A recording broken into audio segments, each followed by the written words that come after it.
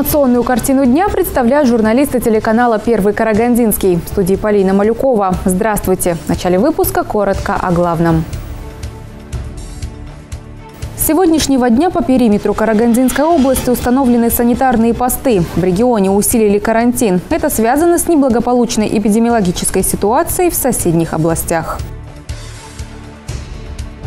Сегодня исполнилось ровно 25 лет с момента создания Казахстанской службы гражданской защиты. За четверть века служба превратилась в мощную организацию, готовую в любое время прийти на помощь. Духовное согласие – путь к единству народа Казахстана. Участники круглого стола отметили, что мир и согласие – залог стабильности и процветания всех отраслей государства.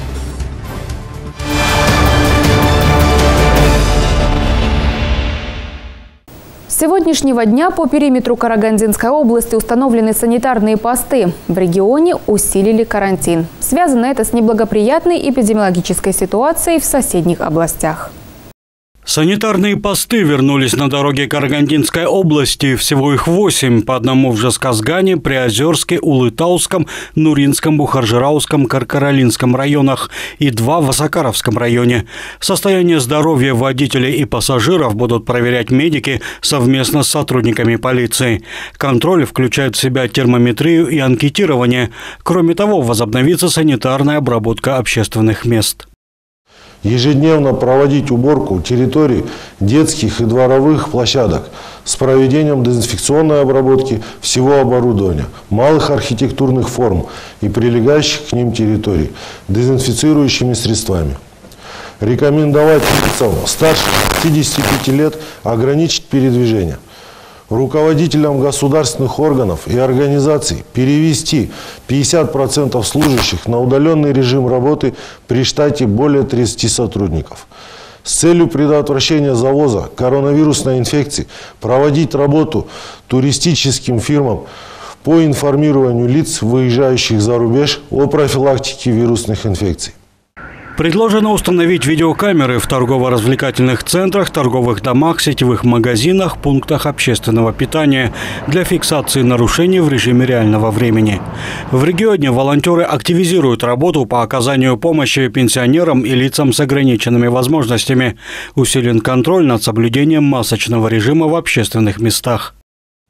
Сохраняется запрет на проведение зрелищных, спортивных, семейных, памятных, торжественных и других массовых мероприятий, таких как банкетов, юбилеев, поминок, на проведение конференций, выставок, форумов, в том числе на дому, на работу развлекательных заведений, караоке, бильярд, компьютерные клубы, ночные клубы, боулинг-центры, детские игровые площадки и аттракционы в закрытых помещениях, батуты и другие – кинотеатры, за исключением кинотеатров на открытом воздухе, букмекерских контор. Во всех объектах необходимо обеспечить строгое соблюдение санитарно-дезинфекционного режима. Уважаемые жители области, вирус все еще остается опасным. Призываем вас не выходить из дома и на улицу без особой надобности. В первую очередь это касается лиц старше 65 лет, а также лиц, имеющих общие какие-то заболевания, состоящие на диспансерном учете. Не посещать места массового скопления людей. При нахождении в помещениях, на транспорте, соблюдать социальную дистанцию, масочный режим. Помнить о личной ответственности перед окружающими и беречь свое, своих близких. Вместе с тем в медицинских учреждениях области ведется активная подготовка к возможной второй волне коронавирусной инфекции. Всего с начала пандемии в регионе зарегистрировано 10 376 случаев заражения. Умерло 279 человек. В основном это люди старше 60 лет и имевшие хронические заболевания.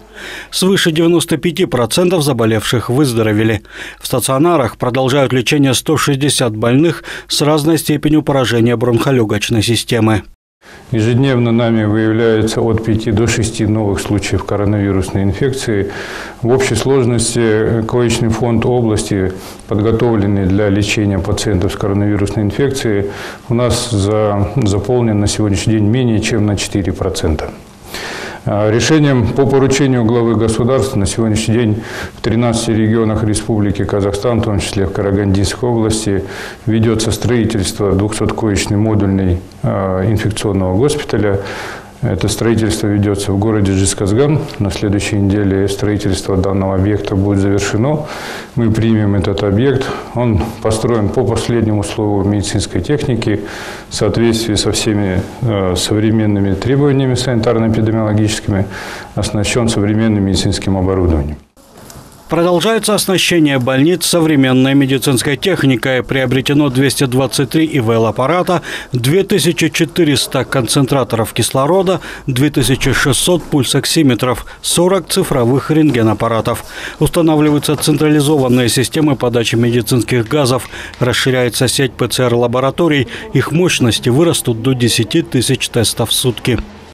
Э, для того, чтобы наиболее уязвимой э, при коронавирусной инфекции является старшая возрастная группа нашего населения, это лица старше 65 лет, для того, чтобы ограничить их контакт э, с общей средой, ограничить их посещение наших медицинских организаций, поликлиник, где высока вероятность их инфицирования. Сейчас приняты меры для того, чтобы до 1 ноября обеспечить наших пациентов старшей возрастной группы запасом лекарственных препаратов, э, лекарственными препаратами э, на три месяца вперед. То есть до 1 января это касается пациентов, страдающих хроническими заболеваниями, такими заболеваниями, как э, сердечно-сосудистая недостаточность, сахарный диабет и так далее.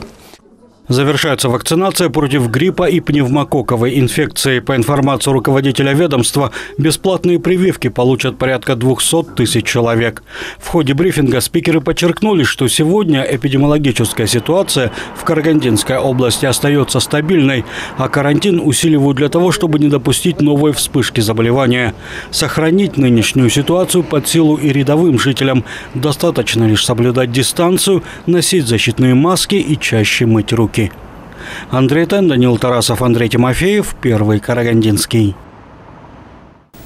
Количество погибших от осложнений, вызванных коронавирусной инфекцией в Европе, достигло 250 тысяч, и количество заразившихся стремительно растет. Самые быстрые темпы зафиксированы в Швейцарии. Число подтвержденных случаев здесь выросло на 146%. В ответ правительство конфедерации ввело строгие ограничительные меры. Швейцарии ношение масок стало обязательным во всех закрытых общественных местах. Запрещено собираться вместе без предупреждения группами больше 15 человек. В общественных местах, ресторанах и барах пить и есть можно будет только не покидая своего места. Банкеты в ресторанах запрещены. В Италии, где тоже новая волна COVID-19 резко пошла вверх, полиция провела спонтанные проверки в жилых кварталах, чтобы удостовериться, что люди соблюдают санитарные правила. Люди без масок и заведения, не обеспечивавшие социальное дистанцирование, были оштрафованы. Главам городов разрешили вводить комендантский час по своему усмотрению. В Праге прошла многотысячная демонстрация противников ограничительных мер. Значительную часть манифестантов составили агрессивно настроенные болельщики, вступившие в столкновение с полицией. Только за прошедшие сутки в Чехии было выявлено более 9 тысяч случаев заражения коронавирусом. В Казахстане на данный момент лечение от коронавирусной инфекции продолжают получать 2682 человека, среди которых 125 детей, 81 человек находятся в тяжелом состоянии, 12 в крайней степени тяжести. За прошедшие сутки в республике зарегистрирован 51 случай заболевания, один случай с летальным исходом. За сутки выздоровели 16 человек. В Каргандинской области цифры таковы. За воскресенье выявлено 9 новых случаев, выздоровело 6 человек. Сегодня исполнилось ровно 25 лет с момента создания Казахстанской службы гражданской защиты. За четверть века служба превратилась в мощную организацию, готовую в любое время прийти на помощь. В этот день 20 пожарных спасателей приняли присягу. За 25 лет спасательные подразделения Карагандинской области провели более 49 тысяч аварийно-спасательных работ, спасли свыше 30 тысяч человек и эвакуировали из опасных зон свыше 43 тысяч пострадавших. За всем этим стоят люди, выбравшие одну из самых трудных и опасных профессий. К сожалению, в истории ДЧС есть и печальные факты. 11 сотрудников департамента отдали свои жизни, исполняя служебный долг. Каждое торжественное собрание в департаменте начинается с возложения цветов к мемориалу и минуты молчания.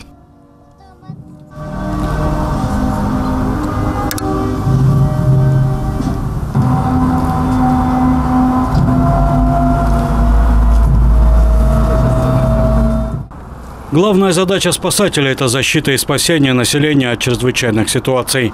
Среди пожарных нет случайных людей, заявляют ветераны службы. Они уверены, что и эти 20 молодых сотрудников текст присяги произносят от сердца. Э, я э, пошел на работу в органы гражданской защиты э, по стопам отца. У меня отец работал в, в получается, гражданской обороне.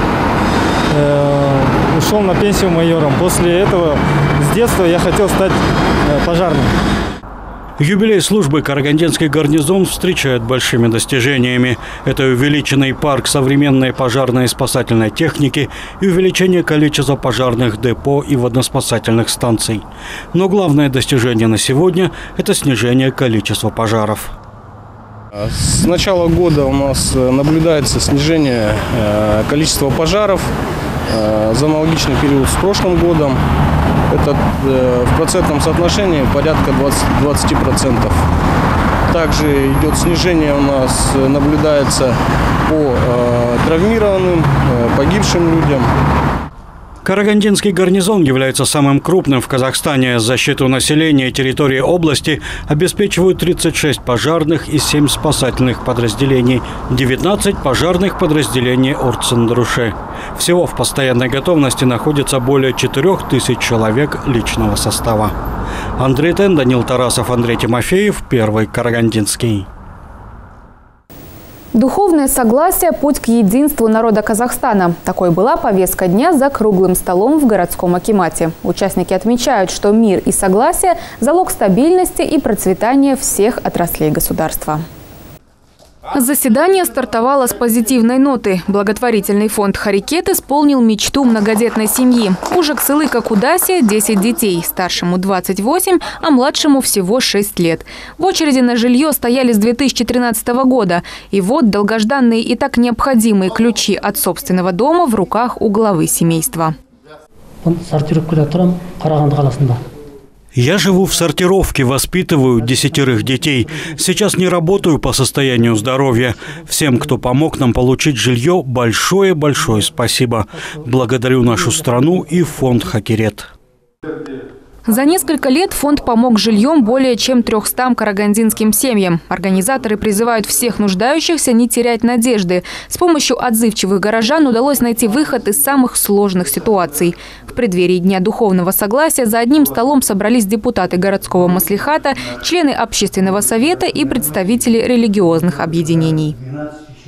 Ну, о духовном согласии в нашей стране можно говорить много. Тоже сегодняшняя наша Круглый стол говорит о том, что разные конфессии, представители разных этносов, мы сидим за одним круглым столом и уже многие годы проводим, у нас такой выработался общественный диалог, совместно решаем проблемные вопросы, совместно обсуждаем. И главное, наше залог обсуждения того, чтобы мир и согласие. Собравшиеся отмечают, что мир и согласие в стране – двигатель экономики, залог процветания и стабильности всех сфер деятельности. Полина Малюкова, Даниил Тарасов, Андрей Тимофеев, Первый Карагандинский. Около 90% представителей бизнес-сообщества не владеют государственным языком. 18 октября в разных регионах страны прошли митинги на тему языковой политики. Карагандинские активисты пошли другим путем и представили свои проекты с вариантами решения проблемы. Начать менять языковую систему предлагают с городского порога. На крыше многоэтажки рядом с привокзальной площадью установлена знаменитая цитата «Караганде – образцовый порядок, высокую культуру». Ежедневно она приковывает взгляды тысячи горожан. Активисты считают, что пришла пора изменить фразу. Там был мы думаем, что это неправильно. Пришло время изменить надпись.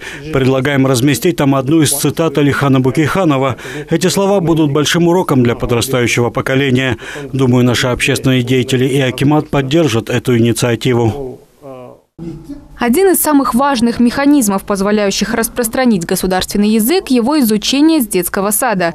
В детском возрасте языки усваиваются проще всего, поэтому это будет полезным вложением. Пример горожанам должны подавать первые руководящие лица.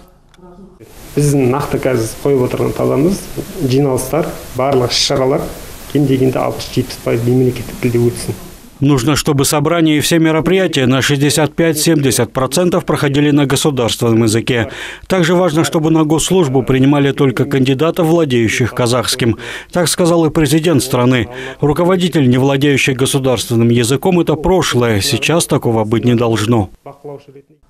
Свои предложения общественные деятели направляют в местные исполнительные органы, распространяют в социальных сетях, а также планируют рассказать о них главе государства. Полина Малюкова, Даниил Тарасов, Андрей Тимофеев, Первый Карагандинский.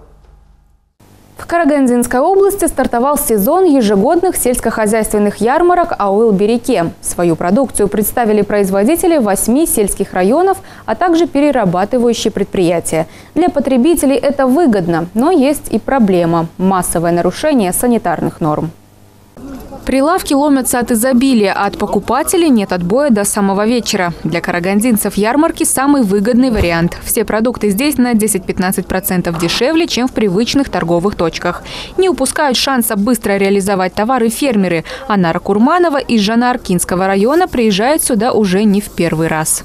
В каждую субботу Акимат нам предлагает, чтобы людям было доступно и по продукции домашней, и э, по цене, чтобы было ниже рыночных э, и по качеству нашего товара.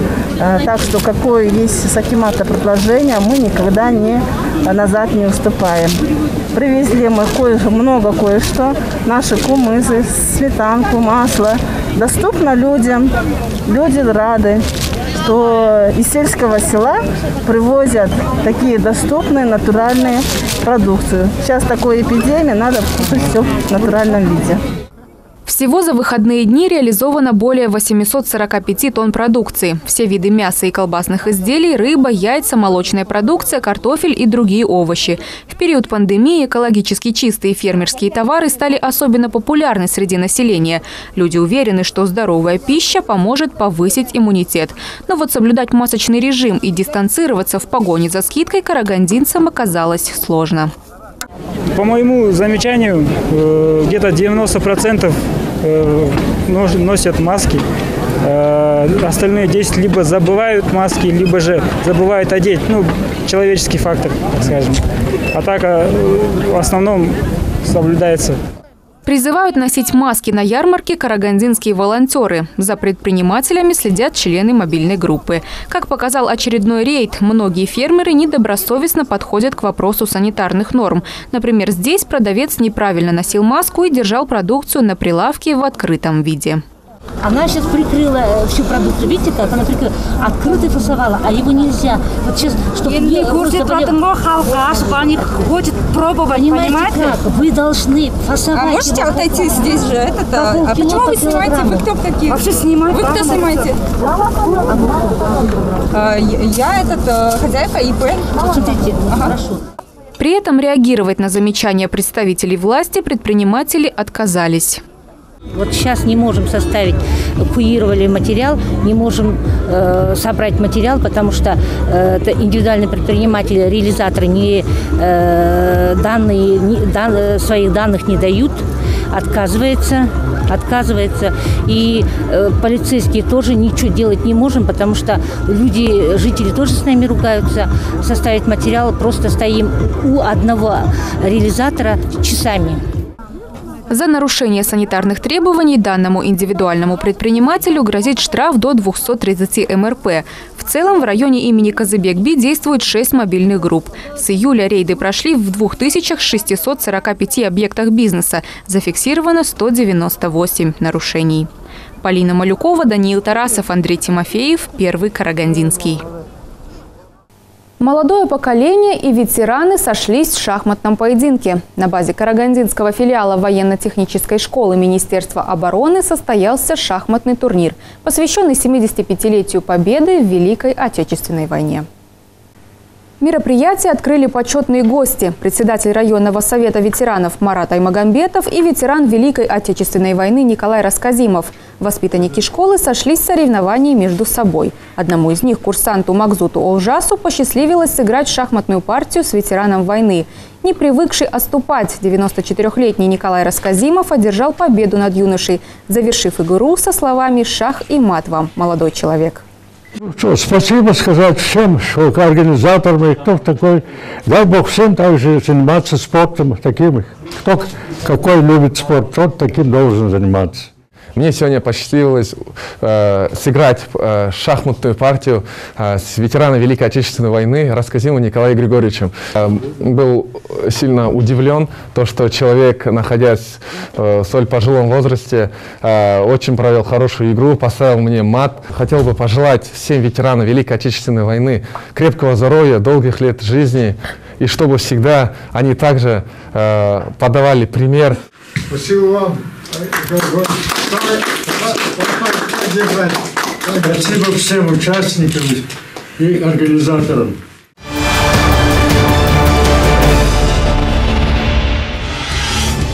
На этом наш выпуск подошел к концу. Если у вас есть интересная информация, обязательно делитесь ею с нами. Телефон службы новостей 420649. Берегите себя, носите маски и сохраняйте дистанцию. Но мы будем и дальше держать вас в курсе всех актуальных событий. До встречи в эфире.